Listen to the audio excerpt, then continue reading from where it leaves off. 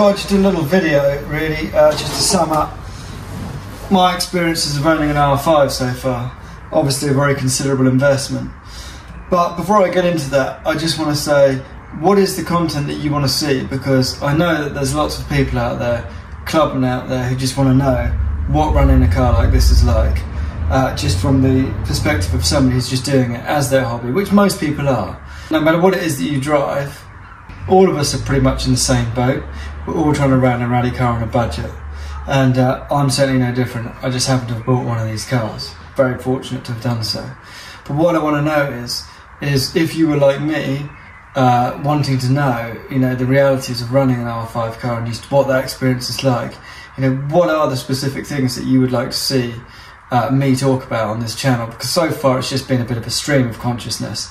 Uh, but I want to put it into a more structured thing, and I want to give you, people who are watching this, what it is that you want. Just uh, let me know, and I will make sure I cover that. So drop in the comments. Make sure you leave a comment, and uh, I will then I will cover that in, a, in, in either in a, in a, video on of its own, or um, if there's a series of different questions which I can cover quite quickly, I will do that as a bit of a Q and A.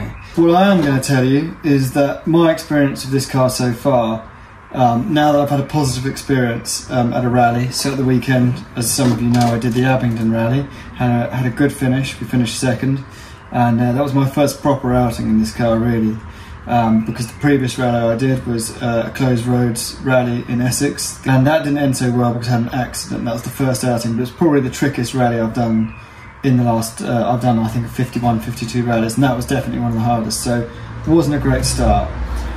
What I can tell you is that this car at the weekend in bone dry conditions around an airfield, um, a good big airfield, so we're getting like nine mile stages, so you're really getting tucked into some pretty good uh, mileage. Uh, I can tell you that it was an absolute joy to drive. Um, all, all the things you hear about the car, these cars, the hype that surrounds them, is not misplaced. They really are that good. Um, it's it's almost just like you think it, and the car will do it. The chassis is so responsive. The braking, people say about the braking, it is incredible. It is absolutely incredible. Um, when I compare it to my Mitsubishi Evo 6, which had phenomenal braking, um, it's almost as though the braking distance is almost halved. It, it, it, I don't know if it actually is. I mean, I couldn't tell you. I've not obviously measured it in uh, in meters, but uh, it just seems that you can just you know brake so late. Um, you get yourself into a situation whereby you're coming round and around the stage. Um, and uh, you're just you're leaving it later and later and later and later, and uh, it almost seems like the brakes will never, the tires will never lock up. Uh, so it is genuinely they are phenomenal. Um, the paddle shift on this is incredible. It's just makes the car so easy to drive. Um, if you find yourself in a situation where you have a little bit of oversteer and you've reached the top end of the revs, you just click the paddle, it chops up a gear, um, it finds obviously the traction because you're coming in lower down in the rev range and it gets you out of trouble. It, I mean, it is genuinely uh, amazing. And the downshifts also. So you, if you're under heavy braking and you're coming into a chicane, you hit the downshift, and uh, if you get a little bit over exuberant, it will just refuse a downshift. So there's no possibility of changing down too low a gear and you know over revving the engine and the gearbox and potentially grenading one or the other or both. You're not going to do that. Um, it is uh, crazy, amazing.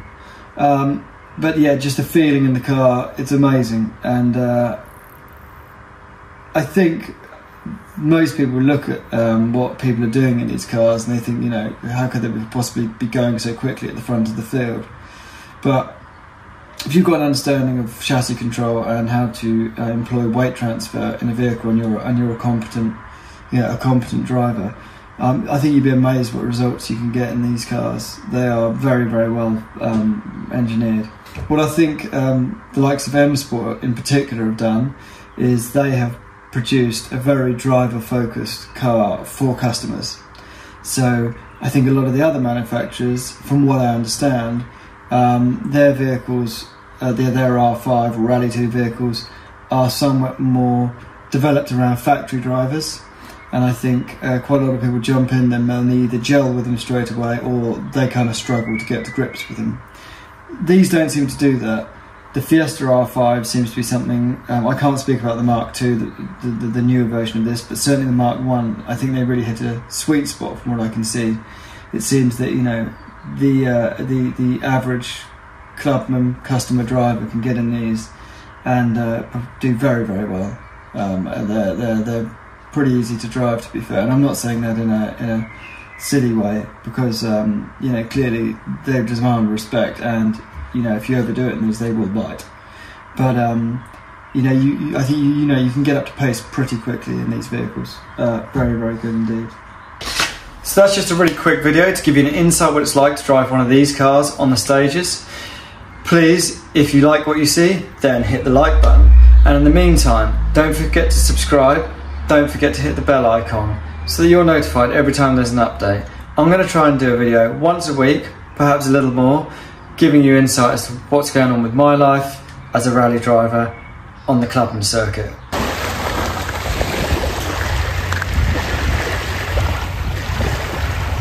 Living his best life with Buffy. Oh.